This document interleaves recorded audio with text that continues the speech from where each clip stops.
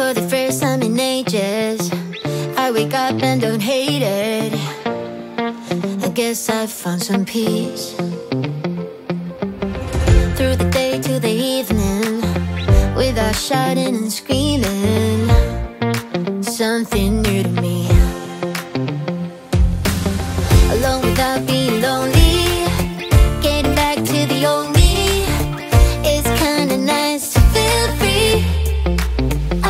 this was so